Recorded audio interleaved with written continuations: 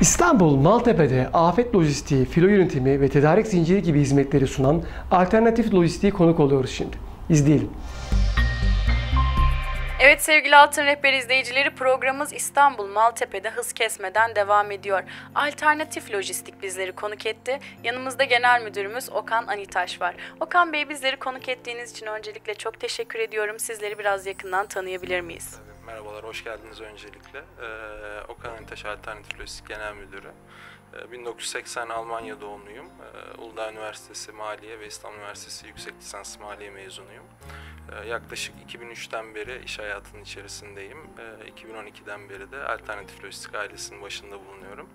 Ee, evliyiz, bir kız babası sahibiyiz. Ee, bu şekilde. Peki kaç yıldır Alternatif Lojistik'le berabersiniz ve Alternatif Lojistik kaç yıldır faaliyet gösteriyor? Alternatif Lojistik 2012 yılında kuruldu. 2012 Ağustos. 5 yıldır faaliyette 2017. Ee, Biz de kuruluşundan bu yana Alternatif Lojistik ailesindeyiz. Ee, Peki Alternatif Lojistik müşterilerine ne gibi hizmetler sunar? E, Alternatif lojistik, lojistik sektöründe farklı misyon üstlenmiş bir şirket. Ee, 2012'den 2014'e kadar lojistik sektöründe e, özel sektör müşterilerine çeşitli lojistik hizmetler üretmiş bir firma.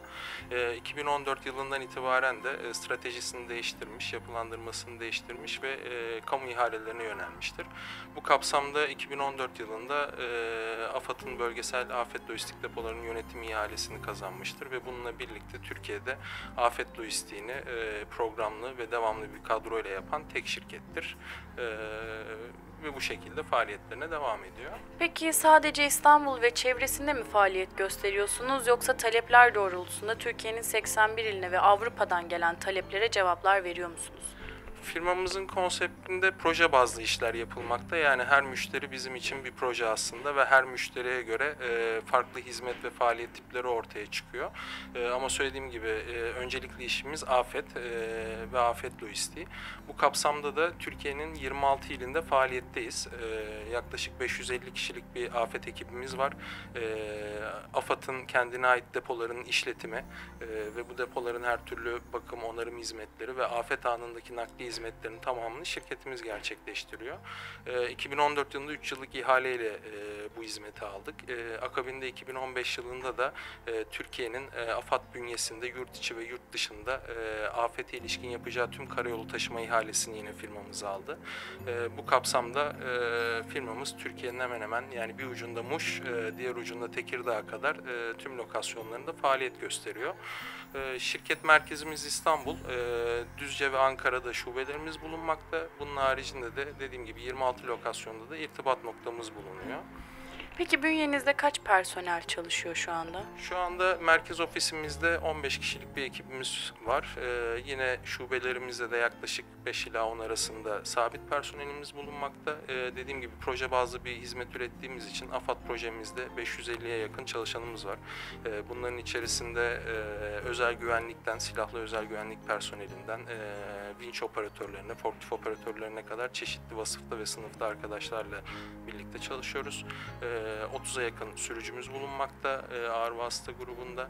Yine hafif ticaride de 20'ye yakın sürücümüz e, bünyemizde çalışıyor.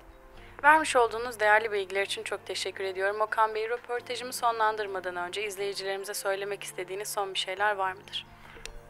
E, zorlu bir sektörün içerisindeyiz. Bu sektör içerisinde e, mücadele etmeye çalışıyoruz. E, bu kapsamda e, özellikle %100'ü yerli sermaye sahip bir şirket e, ve her şeyden önce ticaretin yanında milli bir iş yapıyoruz. E, afet lojistiği yapıyoruz. E, her an hazır olmak durumundayız. 7-24 çalışan bir yapımız var. E, aynı şekilde afetin yanı sıra e, biraz en ortasında oldu ama sivil savunma sanayine de iş yapmaktayız. E, özellikle işte ülkemizin e, en kritik noktalarında e, sıcak çatışmaların yaşandığı bölgelerde e, zırhlı araçlar, güvenlikli siperler, e, gibi malzemelerin 2017 yılı içerisinde üretimi, e, daha öncesinde de taşıma organizasyonlarını üstleniyoruz.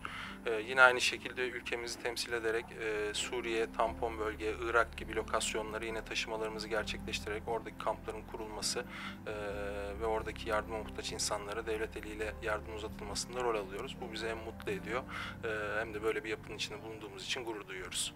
Bizler de başarılarınızın devamını diliyoruz Okan Bey. Bizleri konuk ettiğiniz için de tekrar çok teşekkür ediyoruz. İstanbul Maltepe'de alternatif lojistik bizleri konuk etti. Bakalım sıradaki durağımız neresi?